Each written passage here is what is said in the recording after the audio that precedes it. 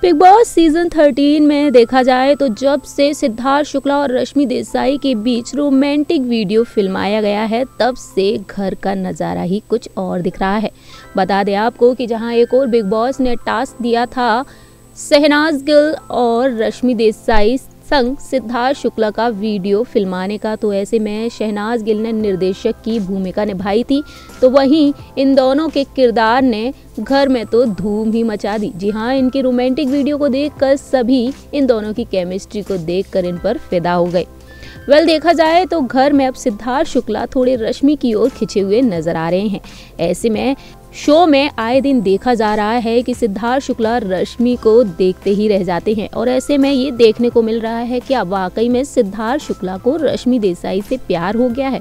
अगर हो गया है तो फ्रेंड्स ये तो वो ही दोनों जानते हैं। दोनों एक दूसरे से ऐसे नज़रें मिलाते हुए नज़र आए थे बीते दिनों, जैसे कि वाकई में इन दोनों को प्यार हो गया है।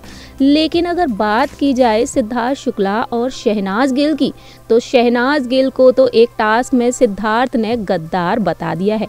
क्या दर्शकों, ये सिद्धार्थ शुक्ला का शहनाज गिल से दूरी बनाना है? क्या शहनाज गिल किनारे हो गई हैं? वेल ये तो सिद्धार्थ शुक्ला और शहनाज ही जानते हैं। लेकिन ऐसे में देखा जाए तो शहनाज गिल थोड़ी जेलस तो होती हुई नज़र आ रही हैं। और आफ्टर ऑल हो भी क्यों ना? आखिरकार शहनाज और सिद्धार्थ हैं ही इतने अच्छे दोस्त। लेकिन आपकी क्या राय है? क्या आप सिद्धार्थ शुक्ला और रश्मि देसाई की जोड़ी को पसंद करते हैं या फिर सिद्धार्थ संग शहनाज को?